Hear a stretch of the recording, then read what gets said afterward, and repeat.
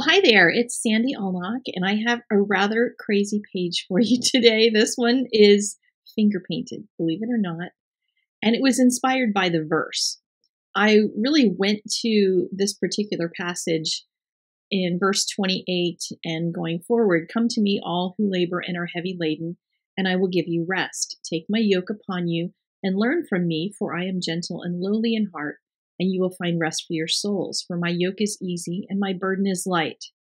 But look up a few verses before that, verse 25, where he says, I thank you, Father, Lord of heaven and earth, that you have hidden these things from the wise and understanding and revealed them to little children. Yes, Father, for such was your gracious will. And as I read this whole chapter in context over and over, looking at that that I will give you rest verse, because that's kind of been the space I've been in, I just kept getting hung up on verse 25 because, you know, approaching him like a child is what we're supposed to do. So I got out some paints. These are some new paints I bought. They're just acrylic paints. You can use any kind of brand, but I thought these were nice big tubes, so I could have some fun with them. And I'm just going to kind of show you a few things that I did along the way here. I started by just sketching some flower shapes. I love those kind of big, tall flowers, you know, that, that come on like one big stem. And then I wanted to have a couple of round flowers, maybe some little teeny things at the bottom and some grasses and stuff. I didn't really have a super big plan in my head. I just wanted to do something. And I have a little bit of each of these four colors. There's other colors, of course, in that little set I showed, but I thought I'd start with these. I had no idea how this was going to work when I tried it, so bear with me as I go through this, and I'm kind of learning how to finger paint again.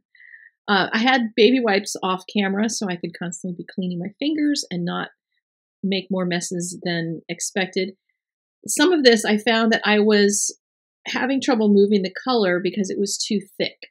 So if you're going to do something like this, normally I do this kind of work with a baby wipe rather than my fingers because it adds moisture to the paint.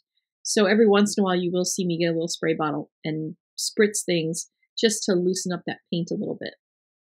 But really, I'm just going around the shapes that I drew so that I could create those tall kind of cone flower shapes. And then I was going to add some color to them. I wanted to make them kind of purple, but I put mixed the red and the blue together trying to see if I could come up with something that looked like a purple and it was green. Well, you know why? And I'll explain a little color theory here. That red is a very warm red. That red has a lot of yellow in it.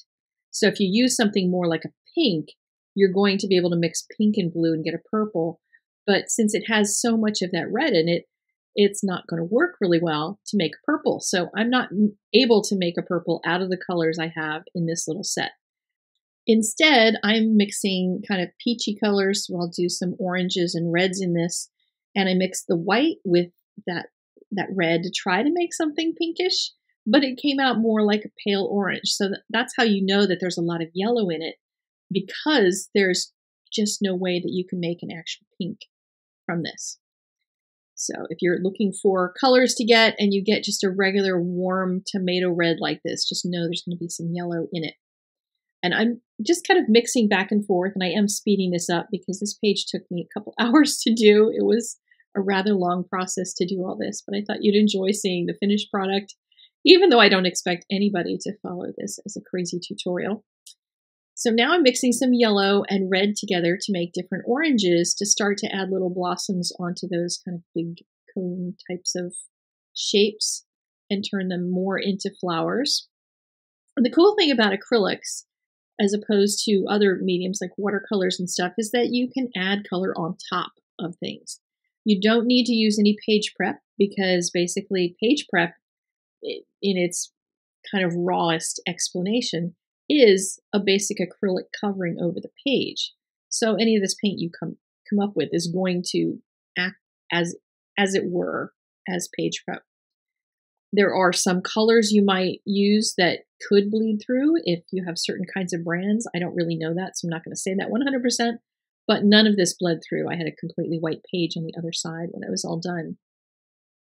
For my big flowers, I wanted them to be white flowers, but I wanted to have some color sort of undergirding them and you'll see how the flowers develop as I continue to paint them. Uh, but I started putting some of this kind of light blue color underneath of them. Trying to figure out how I was going to do this was was just a challenge in general. this whole thing was was a great experiment, but it was a fun experiment. And as I was doing this, I felt very childlike.